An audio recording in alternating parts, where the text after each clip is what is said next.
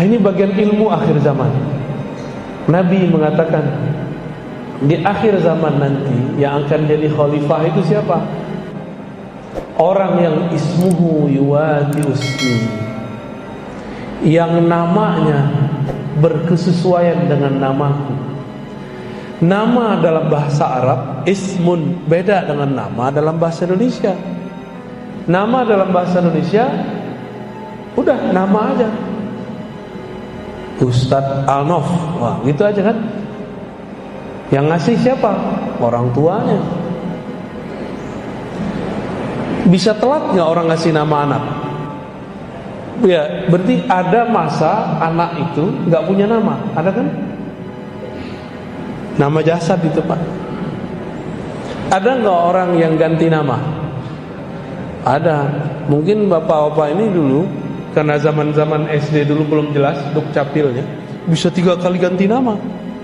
Sebelum masuk SD namanya apa, pertengahan SD namanya apa, akhir namanya berubah lagi.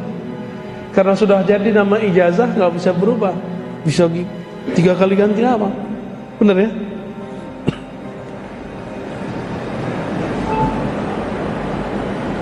Yang dimaksud nama di situ dijelaskan oleh Imam Al-Bajuri. Imam Al-Bajuri ini bukan Bajai Bajuri, Pak.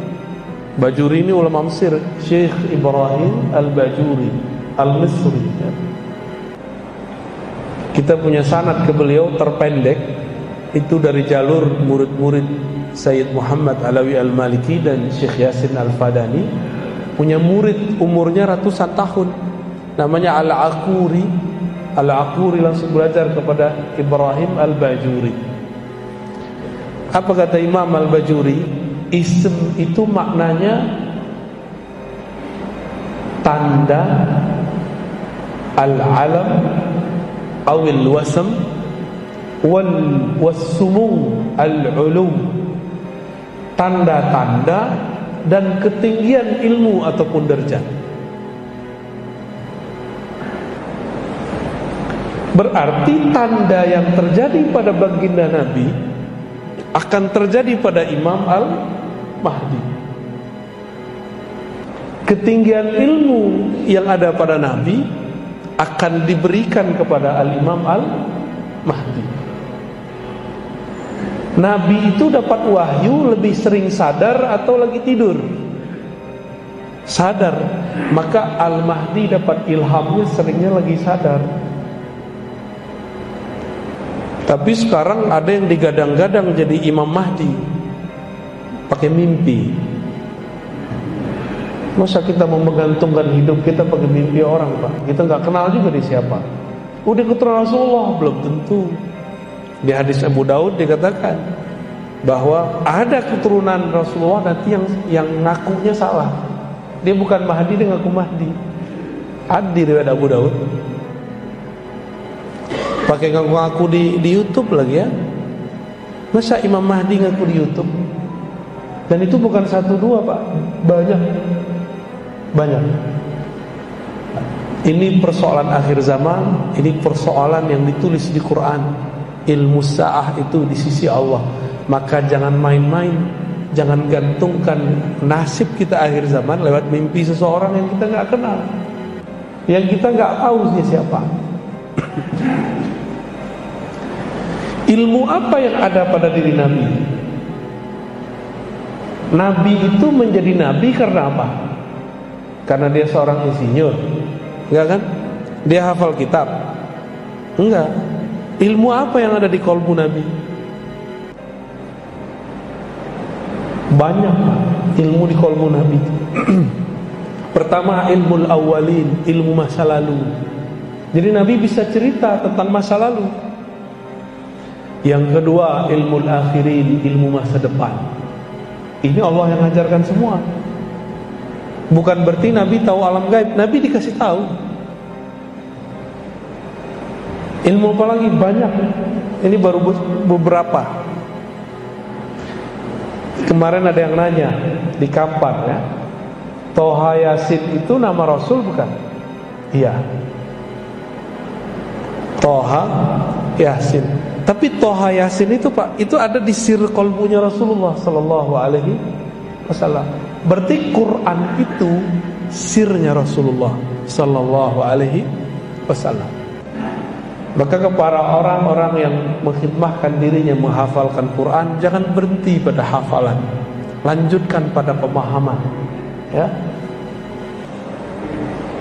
Nah, ini tentang Imam Al-Mahdi dan ada yang penting di situ. Kata Al-Mahdi artinya diberi petunjuk.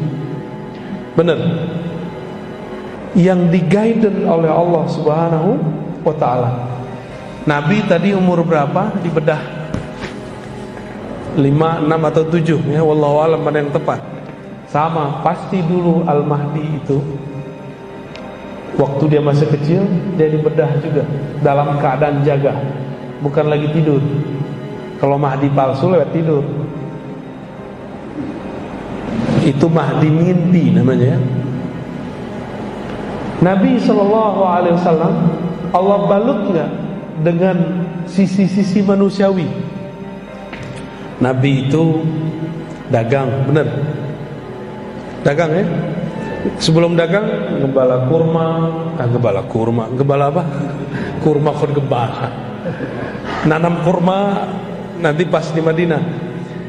Gembala kambing domba. Itu kita sebut memerankan sisi manusiawi. Jadi kalau Yahudi lewat masa Nabi akhir zaman gembala apa kambing? Gak mungkin itu dia tinggalin tuh. Satu kali setelah beliau agak remaja dibawalah oleh Abu Talib. Ke mana dibawa? Ke negeri Syam berdagang. Tapi di perjalanan ke Syam ada seorang pendeta rahib yang masih meyakini Allah itu Esa. Nabi Isa itu Nabiullah Ruhullah bukan anak Allah.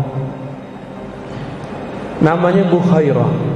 Bukhairah ini hafal kitab suci Taurat dan Injil dan dia yang khusus dihafalkan ciri-ciri Nabi akhir zaman.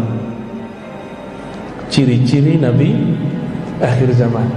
Salah satu yang dia hafal bahwa seorang Nabi akhir zaman ke mana pun dia ada awan di atasnya sehingga dia tidak berbayang. Jadi Nabi itu gak ada bayang-bayangnya kalau di bawah sinar matahari. Kenapa? Ada awan di atas. Ini bukan awan kinton ya, Malam tadi kita bahas One Kinton Karena banyak anak muda pada faham Son Goku Ya kartun, kartunya anak-anak Pak. Apa udah nonton ya? Udah nggak tahu. Kartun itu kartun. Jadi dipersonifikasikan. Kalau di kartun itu Ada sosok bisa menaklukkan awan. Cuma dia hanya menaklukkan satu awan. Kalau Nabi Muhammad SAW bisa semua awan dia taklukkan dengan izin Allah Subhanahu wa taala.